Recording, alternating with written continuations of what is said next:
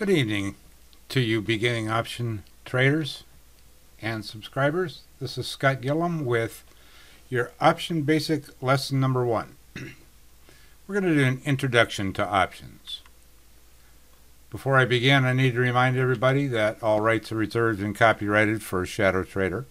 That means the content in this presentation is presented for educational purposes only.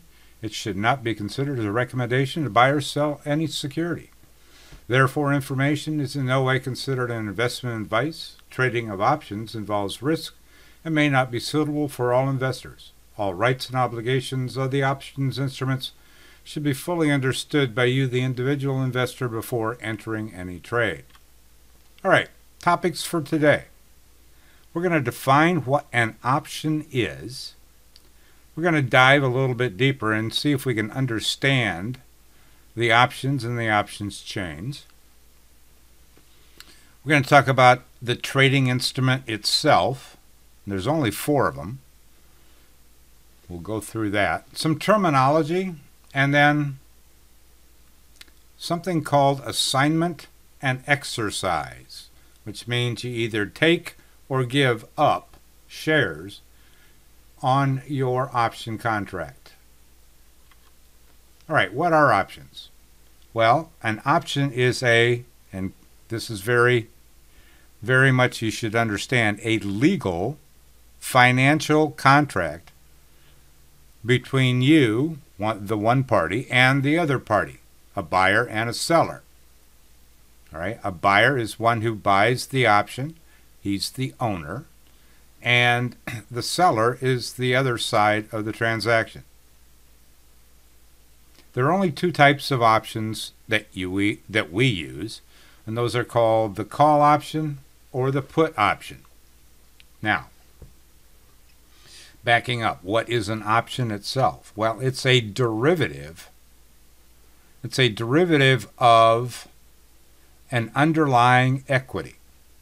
It's an option to buy or an option to sell shares of that underlying equity that the option is for. They only comprise one category of the derivative. Other derivatives are futures, swaps, forward contracts, metals, those types of things. All right, at the bottom, the value of an option will change as the price of the underlying equity changes. Therefore, it is tied directly to the equity pricing. And I've given you an example at the bottom. All right, going on. They differ from equities in, in several, several ways. There are no limits to the amount of contracts that can be in the market at any point in time. Whereas equities have a cap on their amount of shares that are issued. Companies themselves do not issue the options. They are created by market makers. They're created by the marketplace. They're created by demand.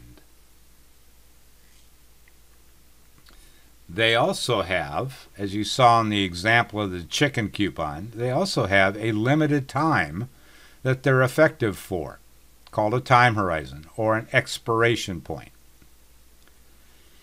Of note, not all equities or securities have options, and not all options and option chains are created equal. Most of the pricing of options is determined by market conditions. How much is my stock going to move? That depends on how much the options are going to be priced at. How many people are interested in my options? That's going to determine the, the what's called the spread, the bid and ask differential. So it's determined by market conditions within the confines of how formulations are used to determine a fair valuation, bringing buyers and sellers together. All right, let's go and define some terminology. The call option. The call option is a buyer of an option and it has the category of a right to buy, not category, but the right to buy tied to it. So you have the right to buy the underlying equity for the dollar value of the strike between the time that you're initiating the trade to its expiration date. On the other side of this transaction is the call seller. Well, the call seller has taken on the obligation to sell or to give up shares of that underlying equity for the same strike and within the same time frame. We also have the other side of the coin called the put option. Put option carries, again, the right to sell. You have a right to sell the underlying equity for the dollar value of the strike within that time frame to expiration. And the put option seller carries the obligation to buy.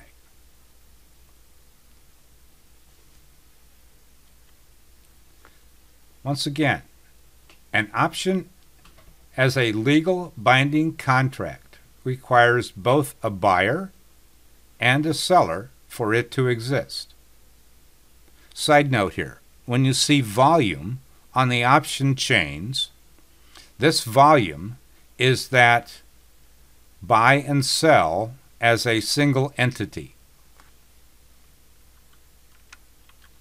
All right, option flavors. Nothing to do with geography. We've got American style options. These are on underlying stocks and ETFs, typically, such as Apple, Netflix, the SPY, etc. This terminology, pardon me, exercise, which means that we will ask to buy, have our right to buy that underlying we can do that at any time, 24 7. The expiration on these equities, typically it's on a Friday at the market close. Settlement, if you exercise your right, you're going to settle in the equity itself or shares of the equity or the underlying ETF. Settlement price. Well, that's the price of the equity determined after the market closes. Your strike tells you what you're going to buy it for.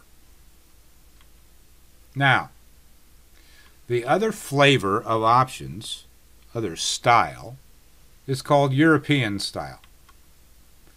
These are cash settled indices. No shares, just cash, such as the SPX, the NDX, DJX, and such. Exercise of these options can only be done at expiration.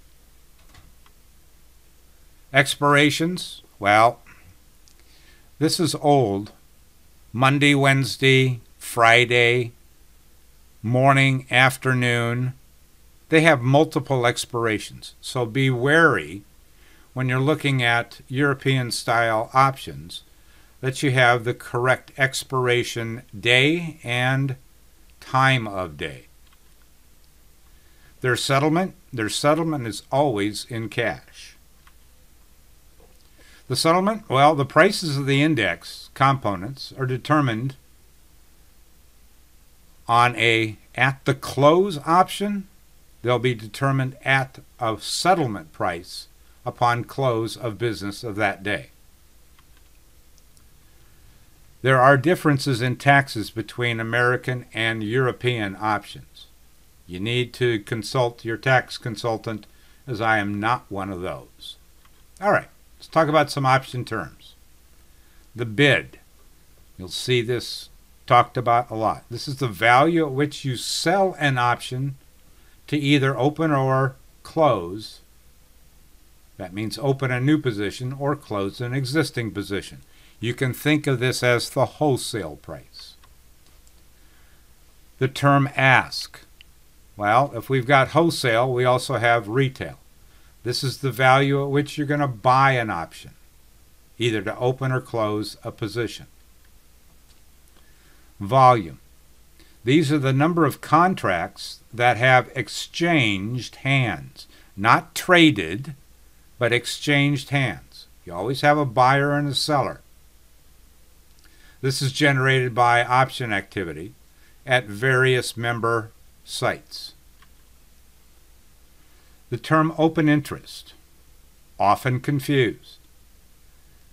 Open interest changes only once a day and is posted at the beginning of the day of trading and does not change throughout that day.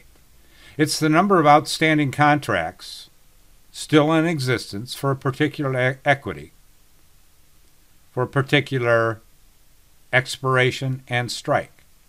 It's maintained by the Options Clearing Corporation, and here it says, and I'll read it again, does not change during the trading day. It's recalculated before the market opens and reflects the net changes from the prior day. An expiration series.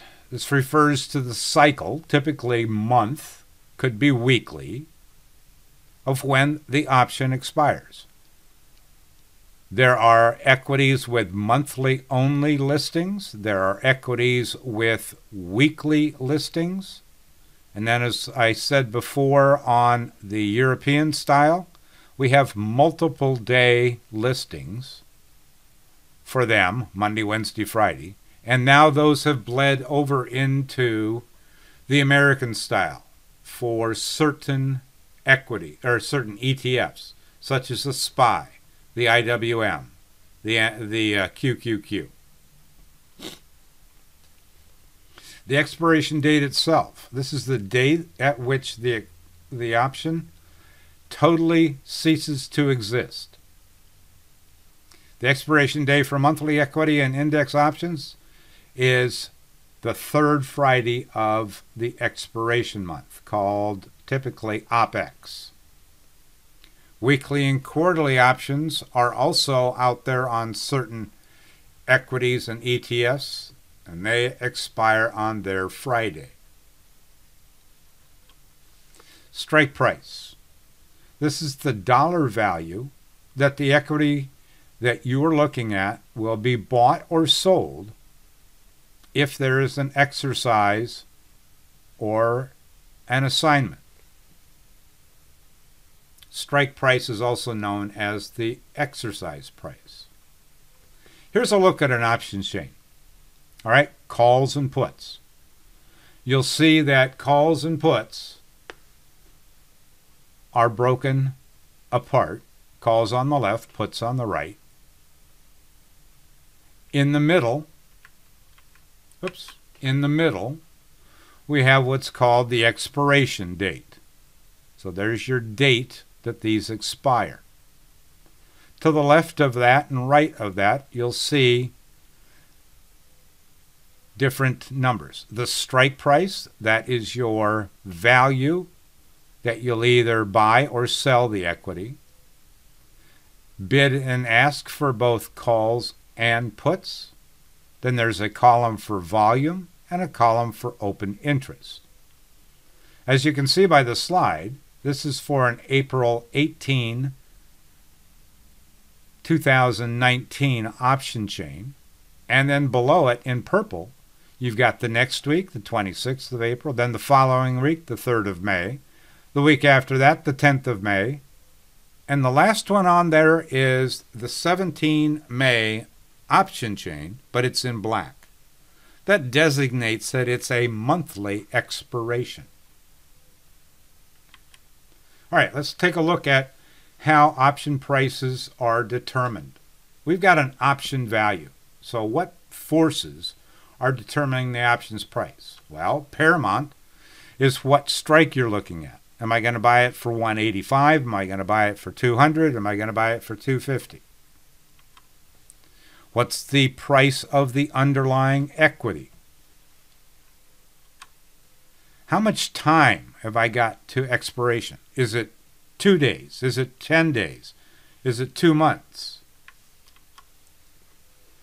how much volatility or expected move is involved in the option.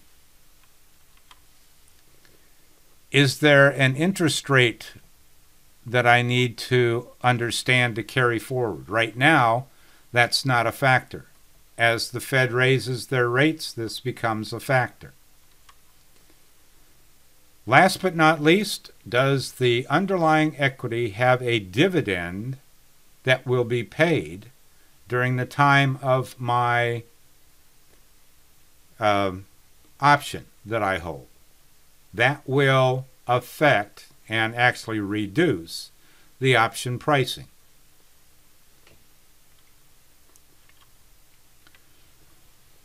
All right, some of the calculations that go into making an option value. Based upon the stock price, we have the Greek called delta. This is the calculation of how much the option will move for the first dollar of movement of the underlying equity. Well, stocks don't just move by a dollar and then stop. They move continually. There's another Greek or another mathematical calculation that goes into the pricing that determines how much delta changes as the price changes from $1 to $2 and so on and so on. That's called gamma.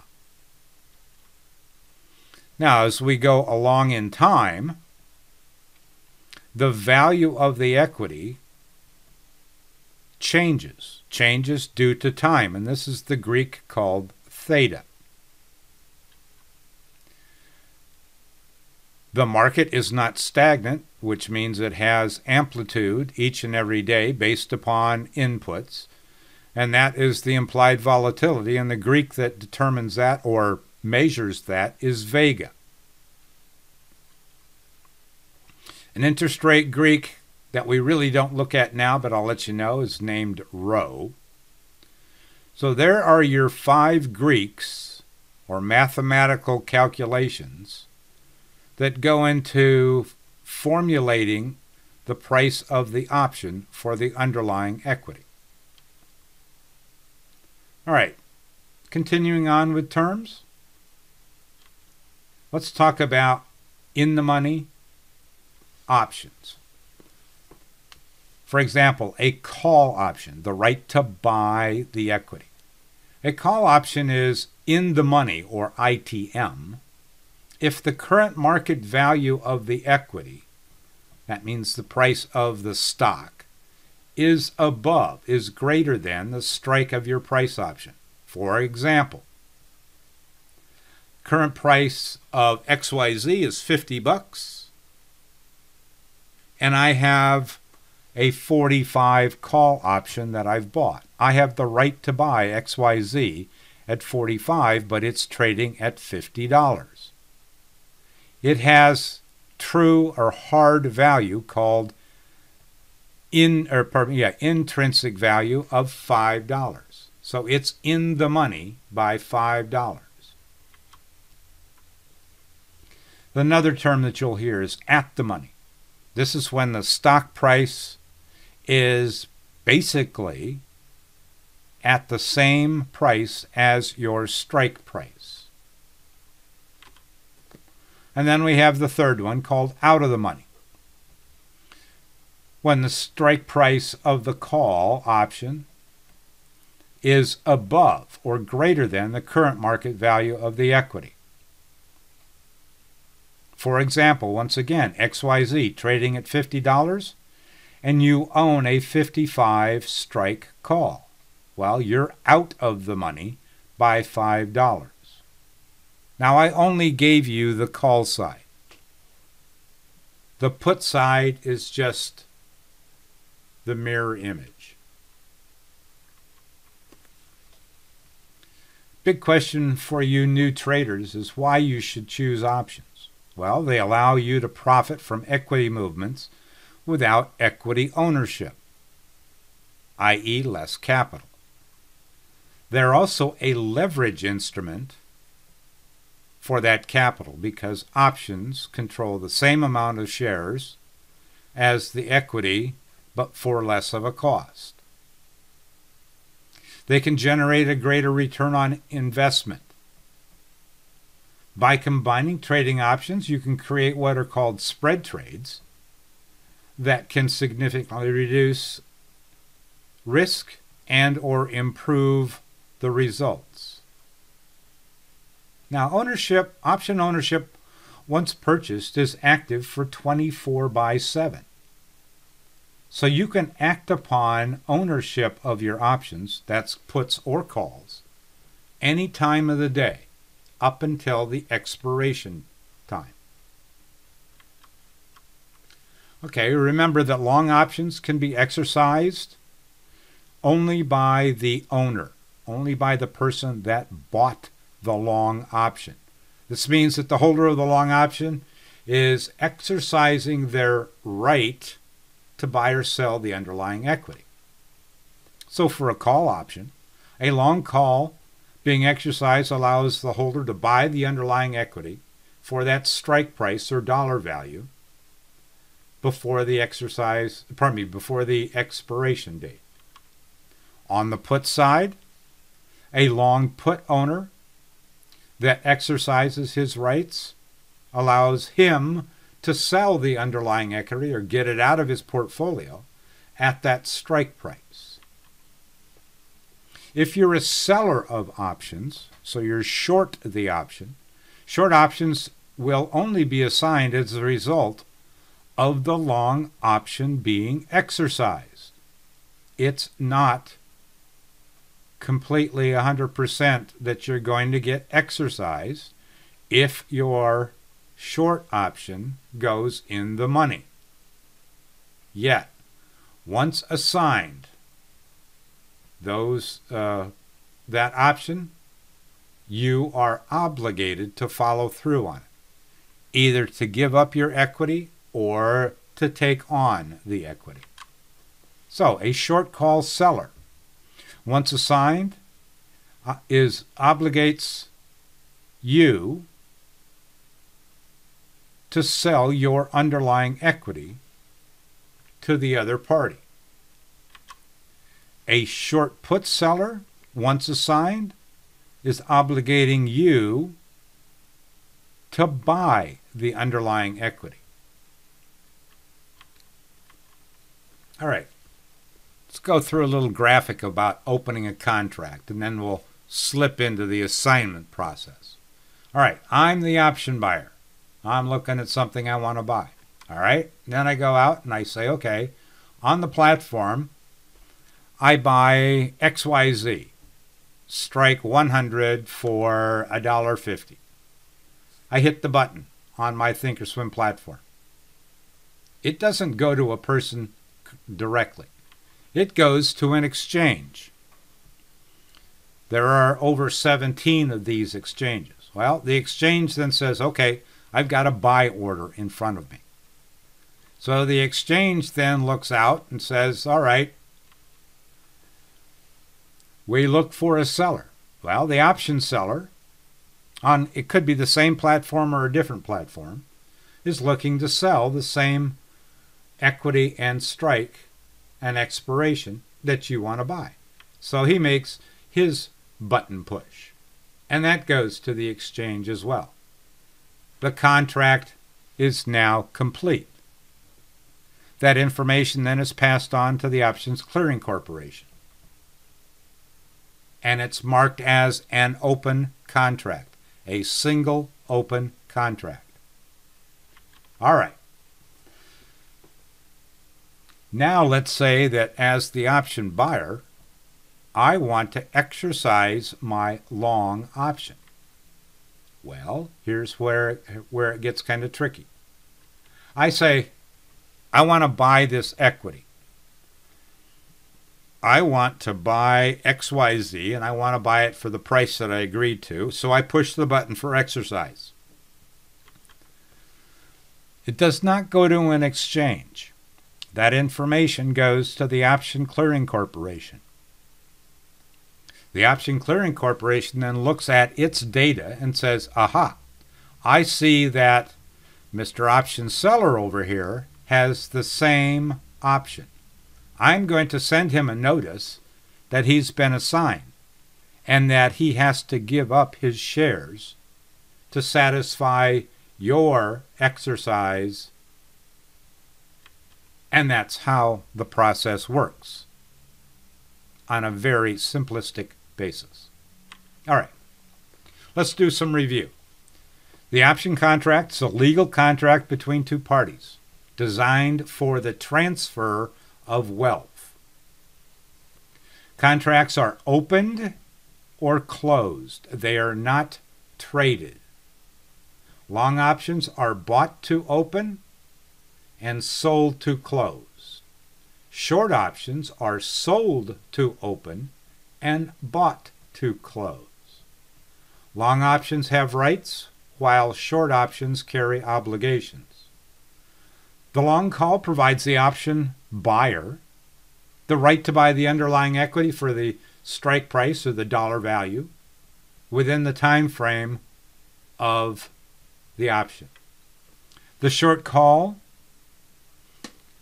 has the you as the seller obligated to sell the equity for the dollar value of the, of the equity at the strike price within the lifespan of that option. Going on to the puts. The long put provides the buyer the right to sell its equity, and the short put obligates the buyer, or pardon me, the, the seller, it should say seller in there, sorry, obligates you, the seller of this put, that you have to take on or buy the equity and put it in your portfolio.